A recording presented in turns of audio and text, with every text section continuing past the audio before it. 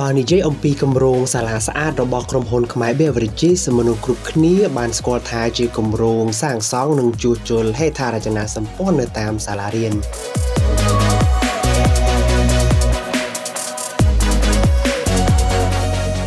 ម្រោងសាលាស្អាតបានចាប់ផ្ដើមតាំងពីឆ្នាំ2016ដោយវិនិយោគប្រាក់ប្រមាណ20ទៅ30ម៉ឺនដុល្លារជារៀងរាល់ឆ្នាំ ដោយជួយសាងសង់ផ្លូវបេតុងក្រាលការ៉ូឡាសាងសង់របងក្លោងទ្វារដងទង់ជាតិទីលានកីឡាបាល់ទាត់និងបាល់ទះជាដើម ដល់សាលារៀនសរុប37សាលានៅភ្នំពេញបាត់ដំបងសៀមរាប និងបន្ទាយមានជ័យបើគិតត្រឹមឆ្នាំ2022នេះ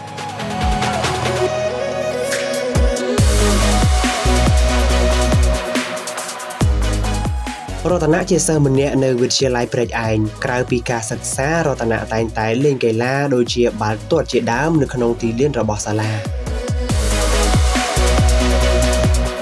កីឡាដែលខ្ញុំលេងជាប្រចាំបាល់ទាត់ហើយបាល់បោះទនេពីការសិក្សាខ្ញុំចំណាយពេល1ម៉ោងដើម្បីលេងកីឡាបាល់ទាត់លេងទីធ្លានេះខ្ញុំគិតថាអត់ទាន់គ្រប់គ្រាន់ទេបងព្រោះទីធ្លានេះគ្រាន់លេងបានគ្នាតិចហើយវាអាចដួលអីចឹង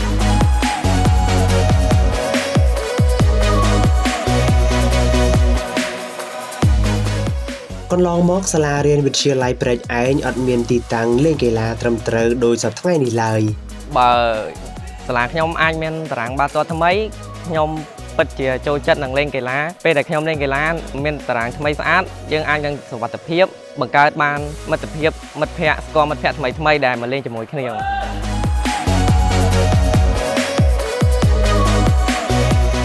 ខ្មែរ Beverages បានចំណាយប្រាក់យ៉ាងសន្ធឹកសន្ធាប់លើគម្រោងសាលាស្អាតនេះដោយជឿជាក់ថាសាលារៀនជាថ្នាលបណ្ដុះបណ្ដាលធនធានក្មេងចំនួនក្រោយសម្រាប់ទ្រទ្រង់សង្គមជាតិយើងនាពេលអនាគតឥឡូវនេះមានតារាងបាល់ល្អចឹងខ្ញុំគិតថាវាជួយសម្រួលដល់កូនសិស្សដែលចូលចិត្តវិស័យកីឡាហ្នឹង và ឲ្យពួកគាត់បានហាត់ហើយមិនមានការកការគ្រោះថ្នាក់ដល់ ពួកគាត់ទេបាទតារាងបាល់ទាត់នេះខ្ញុំទទួលបានពីក្រុមហ៊ុនខ្មែរ Bill Brick តាមរយៈគម្រោងសាលាស្អាតបាទដែលគាត់បានចុះមកធ្វើឲ្យសាលាយើងខ្ញុំ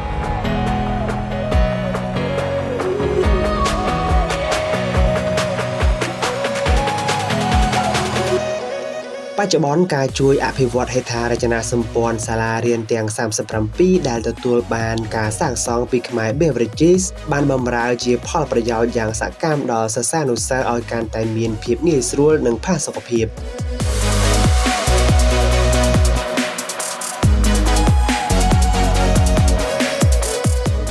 សកម្មភាពអភិវឌ្ឍហេដ្ឋារចនាសម្ព័ន្ធសាលានោះបានធ្វើឡើងនៅក្នុងរាជធានីភ្នំពេញនិងបណ្ដាខេត្តដូចជាបាត់ដំបងសៀមរាបនិងបន្ទាយមានជ័យជាដើម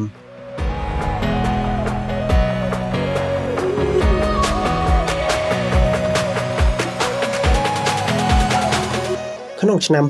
2022គម្រោងសាលាស្អាតរបស់ក្រុមហ៊ុនខ្មែរ Beverages បានជួសជុលនិងសាងសង់ហេដ្ឋារចនាសម្ព័ន្ធនៅតាមសាលារៀនចំនួន17នៅរាជធានីភ្នំពេញ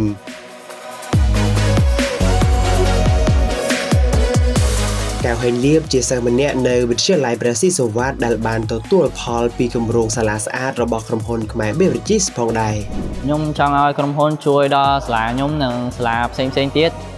ដើម្បីឲ្យយុវជនចំនួនក្រោយក្មេងៗចំនួនក្រោយបានចូលរួមលេងបាល់ទាត់ទាំងអស់គ្នានិងបានរៀននៅសាលាដែលមានមជ្ឈដ្ឋានល្អដើម្បីឲ្យពួកគាត់ក្លាយទៅជាទំពាំងស្នងរស័យល្អជាក្មេងល្អក្នុងសង្គមជួយដល់សង្គមទៅថ្ងៃមុខ